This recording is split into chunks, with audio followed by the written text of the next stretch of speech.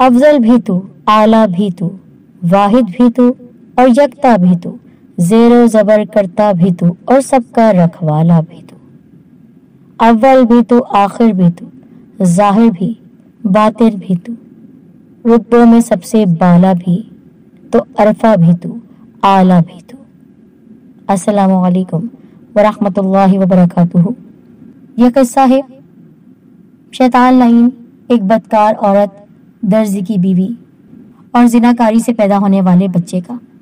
मिलकर यह वाक्य आप सब सुनिए, इबरत हासिल कीजिए और अपनी इसलाह हर एक को करनी है। वीडियो देखकर तो लाइक भी कीजिएगा और उससे पहले हमारे चैनल से टीवी को सब्सक्राइब कर दें।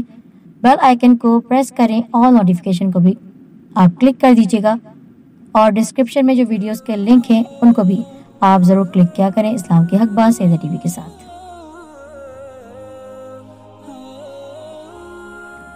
सच्चे वाकयात में ये वाकया कुछ इस तरह बयान किया गया है। एक बार का ज़िक्र है। एक दर्जी था जो बहुत खूबसूरत था। और ना सिर्फ़ खूबसूरत था, बल्कि वो अपने फन में बहुत माहिर था। खास तौर पर वो औरतों के कपड़े सिया करता। उन्हीं औरतों में एक औरत ऐसी थी, जो थी तो शादीशुदा, लेकिन अपने शोहर से खुश नहीं थी, क्योंकि उनके यहाँ औलाद नहीं थी। वो चाहती थी कि उसके यहाँ औलाद पैदा हो, पर उसके शोहर में मर्दानगी नहीं थी। जब उसने पहली बार दर्जी को देखा, उसके दिल में मोहब्बत पैदा हुई और ये मोहब्बत हवस में बदल गई। यानी वो उसके साथ वो लम्हात गुजारना चाहती थी कि जो गुनाहगारी के लम्हात कहलाते हैं। गुनाह बद करना चाहती थी। वो दर्जी नेक और शरीफ था। एक बार ऐसा हुआ कि वो औरत उसके पास गई और कहा कि मुझे अपने कपड़े सिलवाने हैं। उस दर्जी ने उसका नाप लिया और उसको बेहतरीन किस्म का लिबास सीकर दे दिया। वो चाहती थी कि उससे राज उल्फत करे मीठी मीठी बातें करे, लेकिन वो तो किसी को आँख उठाकर भी नहीं देखता था। उस औरत ने लाख चाहा कि वो उसके बहकावे में आ जाए। लेकिन फिर भी, वो दर्जी उसके बहकावे में न आया, क्योंकि ये तो उसका काम था, अगर वो हर औरत को इसी नज़र से देखता। तो फिर तो वो हर रात गुनाह अदीम करता। एक रात की बात है, वो औरत तनहा थी और याद कर रही थी उसी दर्जी को, जिसकी मोहब्बत में गिरफ़्तार होकर अब बस उसी को सोचा करती थी और चाहती थी उसके साथ रिश्ता जोड़ ले। यही सोचते सोचते उसको नींद आ गई। नींद में उसके पास शैतान आया। वो शैतान लईन उसके पास आकर कहने लगा, बहुत अफसरदा लगती हो। लगता है तुम्हारी ख्वाहिश पूरी नहीं होती। और उसी नींद की कैफियत में उसे ऐसा लग रहा था कि वो जागती आँखों से उस शैतान को देख रही है। वो कहने लगी, तुम सच कहते हो। मेरी बहुत सी ख्वाहिशात हैं जो मेरा शोहर पूरी नहीं कर सकता। सबसे बड़ी ख्वाहिश तो मुझे ये है कि मेरे यहाँ औलाद नहीं है। दस साल हो गए हैं लेकिन ना मेरे पास बेटी है, ना बेटा है। मेरे शोहर की वजह से मैं ये खुशी भी नहीं पा सकती। तो शैतान कहने लगा, जिसको सोच रही हो, जाओ उसके साथ जिनाकारी करो। औलाद तुम्हें मिल जाएगी। लेकिन मेरा शोहर, वो क्या कहेगा? उसको पता ही नहीं चलेगा। कैसे पता नहीं चलेगा? वो जानता है कि वो मुझे खुश नहीं कर सकता। खैर, जो भी है, इंसान मोहब्बत में तो आग के दरिया को भी पार कर लेता है। क्या तुम ये काम भी नहीं कर सकती? तुम उस दर्जी से मोहब्बत करती हो ना? चाहती हो ना कि उसके साथ रात गुजारो? हाँ ये तो मैं चाहती हूँ, लेकिन हर पैंतरा आजमा लिया। वो मेरी किसी बात को समझता ही नहीं है। दरअसल वो औरतों में दिलचस्पी लेता ही नहीं है। उसको अपनी बीवी से बहुत मोहब्बत है। शैतान हंसने लगा। अच्छा इसका मतलब है तुम नाकाम हो गई। फिर ये कैसी मोहब्बत है कि तुम हार मान गई? अरे, मोहब्बत में हार नहीं मानी जाती, बल्कि आखिरी दम तक जब इंसान मर भी रहा हो, उस वक्त तक कोशिश करता है तो बताओ, मैं क्या करूँ? शैतान उसके पास आया और उसके कान में कुछ कहा। वो औरत मुस्कुराने लगी। उसने कहा, ये तो तुमने बहुत उम्दा बात बताई। ठीक है, तुम्हारे मुताबिक मुझे ऐसा करना होगा तो क्या मैं कामयाब हो जाऊँगी? बिल्कुल, सौ फ़ीसद कामयाब हो जाओगी, लेकिन ध्यान रखना कि तुम्हारे शोहर को ये बात पता न चले। बीवी ने कहा अरे इस काम में तो बहुत माहिर हूँ मैं, वरना अब तक जब मैं उसके बारे में सोच रही होती हूँ, जो मेरा शोहर है ही नहीं, यानी वो दर्जी तो मेरे शोहर को पता नहीं लग जाती ये बात। बहरहाल, शैतान ने उसे जो तरकीब बताई थी, उस तरकीब पर अमल करना था। दूसरे दिन वो औरत शैतान की बताई हुई तरकीब को अपने साथ लेकर निहायत मक्कारी के साथ चलती हुई। उस हालत में कि सजी सवरी थी और बेहतरीन लिबास पहना हुआ था। देखकर ही लग रहा था कि बहुत अमीर आदमी की बीवी है, जबकि वो तो सिर्फ़ दर्जी का दिल जीतना चाहती थी। उसके पास पहुँची। दर्जी अपने काम में लगा हुआ था। उसके पास जाकर उसकी दुकान पर पहुंचकर अदाय दिलरुबा दिखाकर कहा, सुनिए, मुझे कपड़े का एक बहुत खूबसूरत और कीमती टुकड़ा चाहिए। वो कहने लगा, कितना बड़ा टुकड़ा चाहिए? तो उसने कहा, इतना कि हसीन खूबसूरत औरत को बेहतरीन लिबास बनाकर दिया जा सके। मेरा बेटा दरअसल एक औरत से बहुत मोहब्बत करता है, पर वो शादीशुदा है। तो आपको शादीशुदा औरत के घर इस तरह डाका तो नहीं डालना चाहिए, दर्जी ने कहा। वो किसी की बीवी है, और इस तरह किसी की बीवी के साथ ऐसे रिश्ते रखना नजायज है। क्या करूँ, मेरा बेटा उससे बहुत मोहब्बत करता है। वो उसकी महबूबा है। शादी से पहले वो उसे मोहब्बत करता था। पर अफसोस, बदनसीबी और किस्मत कह लीजिए कि उस औरत की शादी हो गई, किसी गरीब आदमी से। बस, मेरा बेटा उसकी मोहब्बत में अब तक गिरफ़्तार है और उसी को तोहफा देना चाहता है। दर्जी ने ज़्यादा बात नहीं की और उसे कपड़े का वो टुकड़ा काट कर दे दिया। वो उसे पैसे देकर वहाँ से चल पड़ी। शैतान बहुत खुश हो रहा था। उसके पास आकर कहने लगा, एक काम तो तुमने कर दिया है। अब दूसरा काम तुम्हें करना है। दूसरा काम बहुत ही ज़्यादा खतरनाक था। और ये काम दर्जी के उसके घर तक पहुँचने से पहले पहले करना था। वो औरत दर्जी के घर गई और दरवाज़ा खटखटाया। दर्जी की बीवी ने दरवाज़ा खोल दिया। उसका चेहरा देखकर वो सच में दंग रह गई। हया का पैकर थी, खूबसूरत थी, पाकिजा थी। उसको हसद और जलन से देखती हुई वह यार औरत कहने लगी, सुनिए, मैं इस वक्त बहुत प्यासी हूँ। बहुत दूर से सफ़र करती हुई आ रही हूँ। पानी की हाजत हुई। तो मैंने सोचा आपका दरवाज़ा खटखटाऊं। मुझे आप शक्ल से रहमदिल लगती हैं। कि आप मुझे एक गिलास पानी पिला सकती हैं? तो दर्जी की बीवी, जो सच में रहमदिल थी, और कभी आए हुए किसी मुसाफिर या साइल को खाली हाथ नहीं जाने देती थी।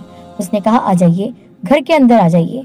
उसे उसने उसने उसको कुर्सी पर बिठाया और अंदर चली गई पानी लेने के लिए। वो औरत तो इसी इंतज़ार में थी। जल्दी से उठी और कपड़े का वही टुकड़ा जो उसने अपने बेटे की महबूबा के लिए लिया था, वही टुकड़ा दरवाजे के पीछे रखकर बाहर निकल गई। ऐसे कि दर्जी की बीवी को वो टुकड़ा नज़र न आए। यहाँ दर्जी की बीवी जब हाथ में पानी का गिलास लेकर वहाँ आई तो वहाँ वो औरत थी ही नहीं, अजब औरत थी। न जाने कहाँ चली गई। वो चारों तरफ़ देखने लगी। घर में ऐसी कोई कीमती शय थी तो नहीं कि वो लेकर जाती या चोरी करती। बहरहाल, उसने इस बात को ज़्यादा सोचा नहीं और ना गौर किया। अपने कामों में लग गई। खाना बना रही थी कि रात में दर्जी घर आया। अपनी बीवी से मोहब्बत का इजहार करने लगा और उसका हालचाल पूछने लगा। जब बीवी ने खाना बना लिया तो दोनों खाना खा रहे थे। अब बीवी को याद नहीं था, वो औरत आई थी और उसके बारे में अपने शोहर को वो ये बात बताए। उसका शोहर जब किसी काम के लिए वहाँ से उठा तो उसको दरवाजे के पीछे एक कपड़ा नज़र आया। अब जब उसने जाकर करीब से उस कपड़े को देखा तो ये वही कपड़ा था जो सुबह वो औरत आई थी और दुकान से लेकर गई थी अपने बेटी की महबूबा के लिए। उसने पलटकर अपनी बीवी की तरफ़ देखा। शैतान मुस्कुरा रहा था और यहाँ पर शोहर के दिल में शक आ चुका था। मैं तुम्हें कितनी मासूम समझता था। मैं तुम्हें कितनी पाकिजा और बाहया समझता था। तुम मेरे पीछे किसी नामहरम शख्स से चक्कर चला रही हो, वो भी नौजवान। आप किसकी बात कर रहे हैं और कैसी बात कर रहे हैं? आपसे किसने कहा? बताओ। यहाँ पर ये कपड़े का टुकड़ा कौन रख कर गया है? बीवी की बात सुनकर शोहर ने उसको तफसील नहीं बताई, ना ही सच्चाई बताई। अगर वो सच्चाई बता देता तो उसकी बीवी उससे कह देती कि हाँ एक औरत यहाँ आई थी। यकीनन उसने ही यहाँ पर कपड़े का टुकड़ा रखा होगा। लेकिन नहीं, उसके दिल में शक का बीज बोकर जा चुकी थी वो। और शैतान लाइन ये करवा रहा था। शैतान खुश हो रहा था और उसको खुश करने के लिए शोहर ने अपनी बीवी के पास आकर कहा, मुझे सब कुछ सच सच बता दो। शादी से पहले किसके साथ नाजायज ताल्लुकात है तुम्हारे? किसी से नहीं। मैं तो घर से बाहर ही नहीं निकलती थी। बस जवान हुई और आपसे शादी हो गई। नहीं, मैं तुम पर यकीन नहीं कर सकता। अगर आप मुझे तफसील बता देंगे, अगर आप मुझे सच बता देंगे, हकीकत से आगाह कर देंगे तो मैं आपके सामने वजाहत पेश कर सकती हूँ। इसका मतलब तुम्हारे दिल में चोर है। वजाहत तो वो देता है जिसके दिल में चोर होता है। या फिर अपनी चोरी पकड़े जाने पर जो न जाने क्या क्या अला बला बोलता है? तुम ऐसा ही चाहती हो ना? नहीं, अब नहीं हो सकता है। मैं तुमसे कितनी मोहब्बत करता था। तुम्हारी खातिर मैंने किसी और अजनबी औरत की तरफ़ आँख उठाकर नहीं देखा। तुम्हारी वजह से हसीन से हसीन औरत मेरे पास आई, लेकिन चली गई, क्योंकि मैं उसको देखता ही नहीं था। मेरे दिलो दिमाग पर तुम छाई हुई थी, लेकिन तुम मेरे पीठ पीछे ये काम कर रही हो? निकल जाओ इसी वक्त घर से। उसने अपनी बीवी की एक बात नहीं सुनी। बीवी बोलती रह गई, लेकिन उसी वक्त उसने तीन लफ्ज तलाक के कहे और वो बेचारी खामोशी से वहाँ से चली गई। शैतान ने मियाँ बीवी को अलग करवा दिया था। वो उस औरत के पास आया, कहा, तुम्हारा काम हो चुका है। अब तुम तैयार रहो। दूसरा वार करने के लिए वो आदमी अकेला है और ज़ाहिर सी बात है, अपनी बीवी से इतनी मोहब्बत करता था, वो बीवी चली गई है, तलाक दे दी है। अब उसकी कभी नहीं बन सकती है। अब अफसोस करेगा या फिर माथा पिटेगा। कुछ नहीं हो सकता है। और ऐसी हालत में अगर उस मर्द के पास कोई और हसीन औरत आ जाए तो वो उसके जाल में फंस जाता है। उसकी मोहब्बत में बहक जाता है। जाओ। तुम्हें बहकने का मौका दिया जाएगा। तुम्हारा शोहर तो वैसे भी घर पर नहीं होता। आज की रात उसके साथ गुजारो। दस्तक देने वाली वही औरत थी, जो बदकारी की नीयत से आई थी। सुबह जब वो दर्जी की दुकान पर आई थी, उस वक्त उसका चेहरा ढका हुआ था, यानी उसने नकाब किया हुआ था, लेकिन अब उसका चेहरा हिजाब से खाली था। बाल बिखरे हुए, लंबे घने सियाह, और चेहरे पर उसने वो रंगोरूप लगाया हुआ था कि देखकर कोई भी आदमी अपना आप खो बैठे, और वो तो वैसे ही अफसरदा था। उसकी दस्तक पर जब दर्जी ने दरवाज़ा खोला तो अपने सामने उस महजबी को देखकर वो तो उसमें गुम ही हो गया, जिसकी नज़रें कभी किसी नामहरम औरत की तरफ़ नहीं उठती थी। आज वो उसको आँखें फाड़ फाड़ कर देख रहा था। अल्लाह ताला ने उसके सामने पर्दा रखा हुआ था उसकी नेक पाकिजा बीवी की वजह से। अब वो बीवी ही ना रही तो पाकी किस बात की? वो औरत कहने लगी, क्या मुझे अंदर नहीं आने देंगे? आप हैं कौन? मैं आपसे मोहब्बत करती हूँ। कई बार आपकी दुकान पर आ चुकी हूँ, लेकिन आप तो देखते ही नहीं हैं। आज सोचा आपके पास आकर आपसे कुछ बातें की जाए। वो तो वैसे ही तरसा हुआ था औरत अंदर आ गई और मौके से फ़ायदा उठा लिया। जिनाकारी हो चुकी थी। शैतान अपना दूसरा वार करके महफिल जमाए हुए था। समंदर पर तख्त लगा हुआ था और अपने शागिर्दों के साथ मिलकर वो शराब पी रहा था कि देखो, मैंने किस तरह दो घर उजाड़ने का सामा कर दिया। किस तरह एक तरफ़ तलाक दिलवाई और एक तरफ़ जिनाकारी करवाई। अब देखो, क्या होता है? वो औरत उसके साथ रात गुजार चुकी थी। दर्जी भी उसके दामे उल्फत में फंसकर। बहक चुका था, उसे अंदाज़ा ही ना हुआ कि जिस तरह शराफत की ज़िंदगी उसने जी थी। अल्लाह ताला ने अब उसे नापाक कर दिया था। वो औरत वहाँ से चली गई। दूसरे दिन उसका शोहर आया। वो शोहर उससे मीठी मीठी बातें करने लगा। वो तो पहले ही अपने शोहर को पसंद नहीं करती थी। अब तो उसको अपने पास भी नहीं आने दे रही थी। फिर ऐसा हुआ कि एक महीने के अंदर उसका हमल ठहर गया।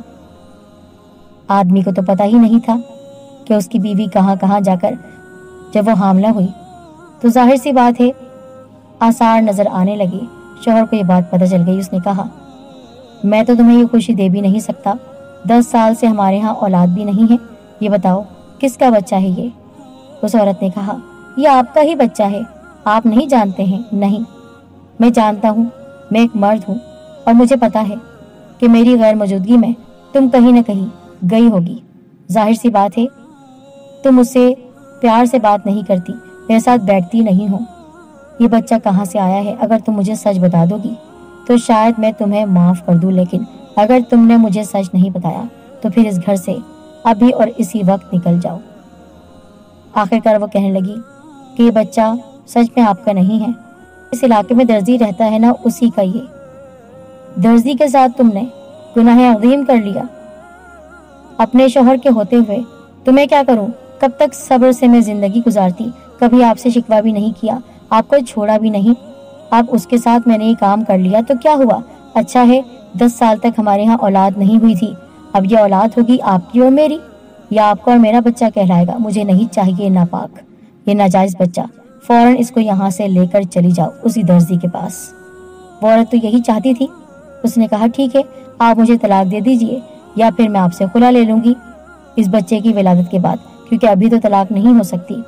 उसने कहा, जो करना है करो। तुमने मेरे एतमाद को ठेस पहुंचाई है। मैं तुमसे कितनी मोहब्बत करता था, तुम्हें इस बात का अंदाज़ा नहीं था। अब तुम जा सकती हो। औरत अपना घर उजाड़ कर चल पड़ी उस दर्जी के पास। उसने दर्जी के दरवाजे पर जाकर दस्तक दी तो अंदर से किसी और औरत की आवाज़ आई। दरवाज़ा खोला, जी, आप कौन? उसने दर्जी का नाम लेकर कहा, मुझे उनसे मिलना है और आप उनकी क्या लगती हैं? मैं उनकी बीवी हूँ। क्या उसने शादी कर ली। हाँ हमारी शादी को एक महीना हो गया है। उनकी पहली बीवी उन्हें छोड़कर चली गई, दगा देकर किसी आदमी के साथ भाग गई और फिर उन्होंने मुझसे शादी कर ली। यहाँ पर वो अपना सर पीट रही थी, शैतान पीछे खड़ा। ज़ोर ज़ोर से हंस रहा था। और करो ये सब कुछ, तुमने जिसकी खातिर अपना घर उजाड़ा, जिसके खातिर तुमने जिनाकारी की, अब तो वो तुम्हारा भी नहीं। अब ले जाओ इस बच्चे को, जहाँ जाना है लेकर जाओ, या तो फिर फेंक दो। किसी कचरे के ढेर पर। वो औरत अब पछता रही थी। ना इधर की रही, ना उधर की रही। एक औरत के घर को खराब किया तो क्या उसका घर नहीं उजड़ा? क्या उसका घर बसा रहा? अस्तगफिरुल्लाह। हर कोई अपना मुहासबा करे। कमेंट ज़रूर कीजिएगा, क्योंकि आपके कमेंट पढ़कर हमें बहुत अच्छा लगता है। अपनी राय पेश कीजिए, अपनी दुआओं में याद रखिए, अपना ख्याल रखिए